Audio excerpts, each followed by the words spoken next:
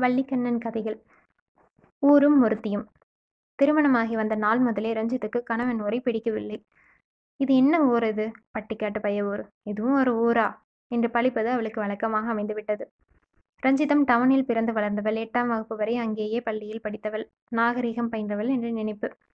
அவள் கல்யாணமாகி வந்த ஊர் சின்ன கிராமம். கடை வீதி கிடையாது. ஒரே ஒரு கடைதான் இருந்தது. இஷ்டப்பட்ட போது வாய்க்கு ருசியாக ஏதாவது வாங்கி தின்ன ஆசைப்பட்டால் அதற்கு உதவும்படியாக ஏதாவது ஒரு மிட்டாய் கடை உண்டா? ருசி ருசியா வடைக்காஃபி என்று சாப்பிட ஒரு ஹோட்டல் இருக்குதா? சினிமா தேட்டர் இல்லை இதுவும் ஒரு ஊரா? ரஞ்சிதம் எப்பவும் எல்லாரிடமும் இப்படி குறி குறி கொண்டே இருப்பாள். அவளுக்கு கணவன் வீட்டாரையும் பிடிக்கவில்லை. என்ன சனங்க? நாகரீகம் தெரியாதவங்க. இவ்விதம் மனசில் சொல்லிக் கொள்வாள். கணவன் குப்புசாமியை கூட அவளுக்கு பிடிக்கவில்லைதான். பேரை பாருங்க குப்புசாமியா? அழகான பேர் எத்தனை இருக்கு. அதில் ஒன்று இதுக்கு கிடைக்காம போச்சே. ஆளும் அழகு வழியுது. ஒவ்வொருத்தர் என்னென்னமா இருக்காங்க. சினிமாவில் வர்ற மாதிரி கதாநாயகிங்க மாதிரி. அந்த அளவுக்கு இல்லாவிட்டாலும் கொஞ்சமாவது லட்சணமாக இருக்கப்படாது. என் தலையெழுத்து எனக்கென்று இப்படி வந்து வாச்சிருக்கே. என அவள் அழுத்து கொள்வாள். குப்புசாமி நன்றாக உழைக்கக்கூடியவன். பக்கத்து சிறு நகரில் இருந்த மில் ஒன்றில் வேலை பார்த்தான். காலையில் ஆறு மணிக்கே சைக்கிளில் போக வேண்டும். சாயங்காலம் திரும்பி வருவான். வந்ததும் தோட்ட வேலை. அது இது என்று எதையாவது இழுத்து போட்டுக்கொண்டு பொழுதுபோக்குவான். அதெல்லாம் ரஞ்சிதத்துக்கு பிடிக்கவில்லை. இது என்ன? வேலை டவுனில் ஒரு ஜவுளி கடையில் ஏதாவது வேலை பார்த்து கொண்டு அங்கேயே வாடகைக்கு வீடு எடுத்து குடியேறி விடலாம். நல்லா டீசெண்டாக வேட்டி சட்டை அணிஞ்சு கொண்டு நாகரீகமாக இருக்கலாம். பொழுதுபோக்காக சினிமாக்கள் பார்க்கலாம் என்று அவள் அடிக்கடி சொல்லி கொண்டிருந்தாள். புருஷனிடமும் சொன்னாள். பிரத்தியாரிடமும் புலம்பினாள். அவள் பேச்சை அவன் சட்டை செய்ய தயாராக இல்லை. இது பெரும் மனக்குறையாகவே இருந்தது அவளுக்கு. ரஞ்சிதத்துக்கு தான் ரொம்ப அழகானவள் என்ற பெருமை. அவள் பிரமாத அழகி இல்லை. ஆனாலும் இருக்கிற அழகு அம்சங்களை அலங்காரமாக எடுப்பாக காட்டி வசீகரமாக விளங்கக்கூடிய திறமையில் அவள் தேர்ந்திருந்தாள். தான் ரொம்பவும் புத்திசாலி என்ற கர்வமும் அவளுக்கு இருந்தது. எங்க வீட்டுக்கு எதிர் வீட்டிலே ஒரு சார்வாள் இருந்தாக. ரஞ்சிதம் நீ இருக்கிற அழகுக்கு சினிமாவில் உனக்கு சான்ஸ் கிடைக்கும். நீ சீக்கிரமே ஸ்டார் ஆகிட முடியும்னு அடிக்கடி சொல்லுவாங்க.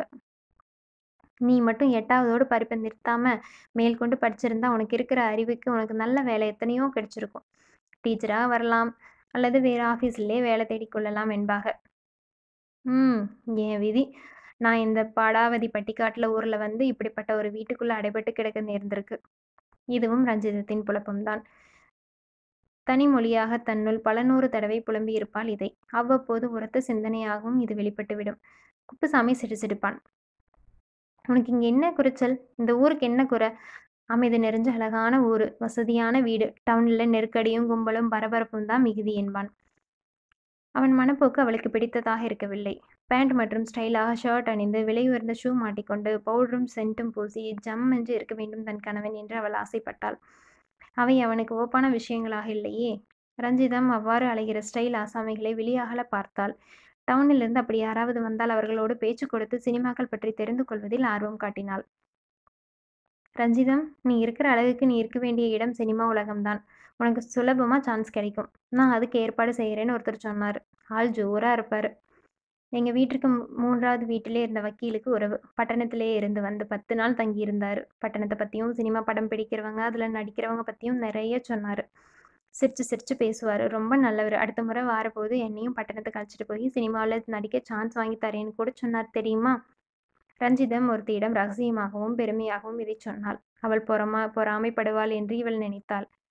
ஆனால் அந்த அவளோ இவளை ஒரு தினிஜாக பார்த்தாள். இது ஒரு மாதிரி தான் போல இருக்கு. கல்யாணம் ஆகிறதுக்கு முன்னாடி கண் கண்டபடி அலைஞ்சு கழுத என முடிவு கட்டி போட்டாள். நம்ம குப்பையா அண்ணன் நம்ம குப்பையா அண்ணனுக்கு போயும் போயும் இப்படி ஒரு சின்ன சவமா பொண்டாட்டியா வந்து வாய்க்கணும்? என உள்ளம் புழுங்கினாள். ரஞ்சிதத்தின் நடத்தை மோசம் என்று தனக்கு தெரிந்தவர்களிடெல்லாம் ரகசியமாக சொல்லி வைத்தாள். எந்த ஊரையும் ஊர்க்காரர்களையும் ரஞ்சிதம் மட்டமாக கருதினாலோ அவர்களை அவளை மட்டமாக எடை போட்டு முத்திரை குத்தி உன் பவுஸ் இவ்வளவுதான் என்று ஒதுக்கிவிட்டார்கள் ஆனாலும் அவளை பற்றி மனம் போன போக்கில் பேசி மகிழ தயங்கவில்லை. அதெல்லாம் ரஞ்சிதத்துக்கு தெரியாது. இதுவும் ஒரு ஊரா? இங்குள்ள சனங்களும் ஒரு சனமா? தரித்திரங்கள். நாகரிகம் தெரியாத முண்டங்கள். என அவள் கரித்து கொண்டிருந்தாள். அவள் பொழுதுபோக்கு அவள் போக்கு புருஷனுக்கு வெறுப்பு தர ஆரம்பித்தது. நான் நினைச்சிருந்தால் நல்ல சினிமா ஸ்டார் ஆகியிருப்பேன் தெரியுமா? என்னை சினிமாவில் சேர்த்து விடுறதா? ஒருவர் முன் வந்தார். அதுக்குள்ளார என் எனக்கு இப்படி ஒரு கல்யாணத்தை பண்ணி வச்சுட்டாங்க. என்று அவரிடமே அவள் ஒரு சமயம் கூறினாள். யாரடி அவன்? என்று உருமினான் குப்புசாமி. அவள் சொன்னாள்.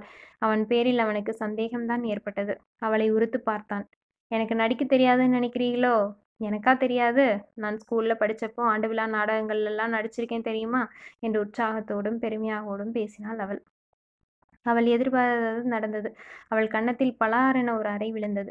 எனக்கும் எங்கள் குடும்பத்துக்கும் கேவலம் உண்டு பண்ணணும்னே நீங்கள் வந்திருக்க. சினிமாவா? நடிப்பான் எவனோ சேர்த்து விடுறேன்னு சொன்னானா? சாக்கிரதையாக இருந்துக்கோ. தப்பு தவறா நடந்த உனக்கு கொலை பண்ணி போடுவேன்.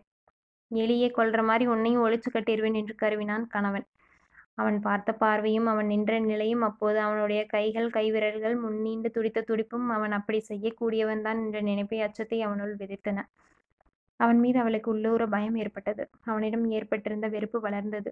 ரஞ்சிதத்துக்கு அந்த ஊரும் வீடும் சுற்றமும் சூழலும் பிடிக்காத விஷயங்களாக மட்டுமல்லாது தன்னை ஒடுக்கி அடக்கி தனது சந்தோஷங்களை சிதைத்து தன்னுடைய வாழ்வியே பாலடிக்கிற பால் நிலமாய் படுகுழியாய் பயங்கர நரகமாய் தோற்றம் கொண்டன. தூரத்திட்டவனும் நாகரிகமும் உல்லாச பிரியர்களும் அவற்றுக்கும் அப்பால் தொலைதூர நாகரிக பெருநகரமும் சினிமா உலகமும் குழுகுழு பசுமைகளாய் புன்னகித்தன கண் சுமிட்டன அவளுக்கு ஆசை காட்டின. அவள் இயல்பான சந்தோஷங்களை அனுபவிக்க முடியாமல் கனவு இன்பங்களுக்காக ஏங்கி நாட்களை ஓட்டலானாள். பிறந்த வீட்டில் ஏதோ விசேஷம் என்று அவள் அம்மா வந்து ரஞ்சிதத்தை கூட்டி போனாள். பின்னர் வருவதாக குப்புசாமி சொல்லி சொல்லி அனுப்பினான். உழைப்பில் மிகுந்த அக்கறையும் ஈடுபாடும் கொண்டிருந்த அவன் சொன்னபடி போக முடியவில்லை. அப்புறம் போக வேண்டியது அவசியமில்லை என்றாகிவிட்டது. ரஞ்சிதம் நாகரிக மன்மதன் ஒருவனுடன் அவன் பேச்சையும் சிரிப்பையும் ஆசை வார்த்தையும் நம்பி வீட்டை விட்டு போய்விட்டாள். இந்த செய்தி குப்புசாமிக்கும் அவன் ஊருக்கும் தெரிந்தது. பரபரப்பான பேச்சுக்கும் ஏச்சுக்கும் தூண்டுதல் ஆயிற்று சிறிது காலத்துக்கு. ரஞ்சிதில் சினிமாவில் சேரத்தான் போயிருப்பாள். அப்படி ஆசை காட்டித்தான் நாகரிக மைனர் அவளை கூட்டிக் கொண்டு போயிருப்பான் என்று குப்புசாமியும் அந்த ஊர்க்காரர்களும் நம்பினார்கள். அதுதான் நிஜமும் கூட. நிஜமான சந்தோஷங்களை அனுபவிக்க மனம் இல்லாத பகட்டி மினுக்கிய நிழல் இனிமைகளை நாடி ரஞ்சிதம் என்ன ஆனாள்? அல்லது ஆவாள். அந்த ஊர் கவலைப்படவில்லை. தன்னை விரும்பி நேசிக்க மனமில்லாது வெறுத்த அவளை தன்னவளாக அந்த ஊர் ஏற்றுக்கொண்டதில்லைதான்.